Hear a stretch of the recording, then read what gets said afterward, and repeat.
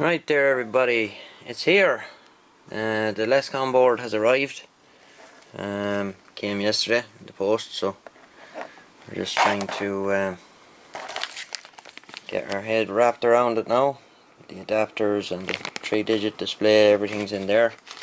So um, as I say, I got the LC6404 5 position band switch on it, uh, squelch scan, blah blah blah so I'm just trying to wrap my head around it now. And there's quite a bit of stuff to be connected up on it so I'll put it up there for now. Um, now what we have to do here um, I want to put uh, a new um, PLL I want to put it in on a socket which I have got from Ray. Thanks very much Ray. Um, also I'm going to put the band switch in here where the um, SRF CAL SWR control was. So I need to delete this. Um, I'm going to just hardwire it to the first just the signal meter to work and the RF meter. Um, so a bit of figuring out stuff to do.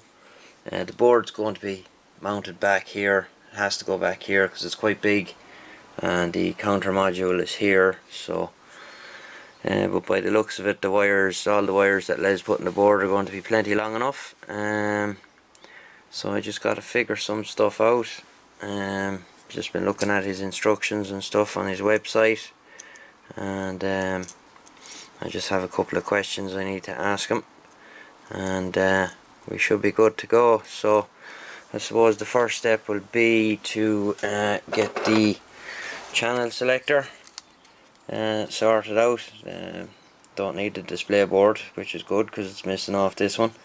So uh, just get rid of these uh, ribbon cables and uh, get the adapter on.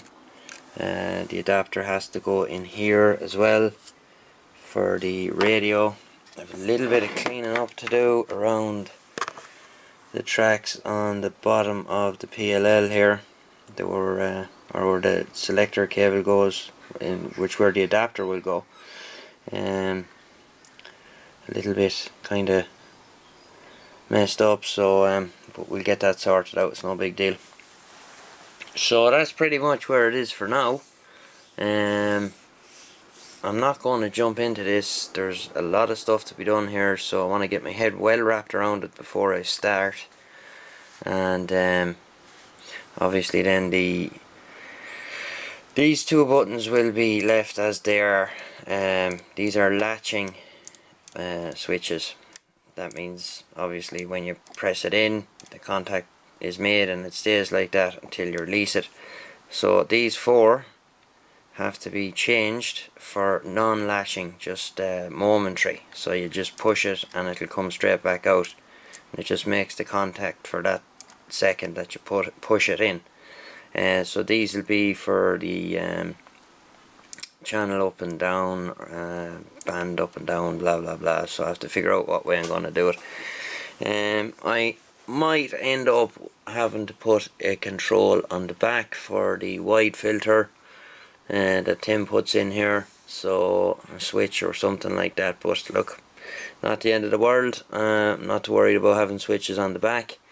Um, so like I said um, I have a lot of stuff to do uh, I have a lot of stuff to figure out and this is going to be one very busy radio inside uh, when everything's in here it's going to be pretty packed. There's not going to be a whole lot of room in here as I say the Lescon board is going to be here counter module is going to be here all the wiring is going to be ran down this side. Uh, there's some connections to be made on the solder side.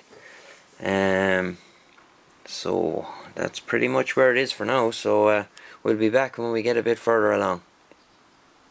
Ah, right. Got a little bit carried away and uh, forgot to pick the camera up. So I have the board mounted in here. Um, these are all the switch control wires I just have these cable tied up out of the way at the minute um, the adapters now let's swing this around the adapters are on Uh, one there, and the other one is below it. And the sockets in for the PLL. I haven't dropped in the PLL yet. I'll do that soon. The solder side all sorted out. Um, so just some connections to be made here. For the LSCOM board I have to go to the anode of diode 31 which is down here. Uh, you can't really see. Um, that's it there. Connect to the anode of that. I have to connect to pin 10 and I have to go to the voltage regulator for 8 volts as well. So, um, and I have to get rid of this guy as well. So, um, we're doing okay. So uh, that's where it is for now anyway. So uh, we'll crack on another bit and uh, see can we get her done. We'll be back. Okay, there you have it for now. Um, everything's in and wired up in terms of the board. D31 anode connection, pin 10, all that stuff's done. Um, this is your I actually said earlier this is a band switch that was uh, an error on my part. This is your mode display. So you can have it like that go A through to F um, this is frequency so you stick a 2 this side and a 5 that side it's just for reference really.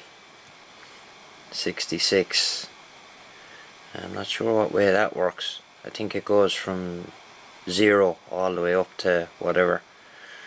Uh, it's kind of like a blank display. Then you have your uh, ATU and where is it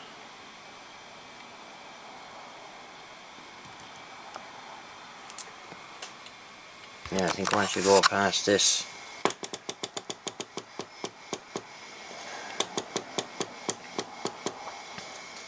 let's see.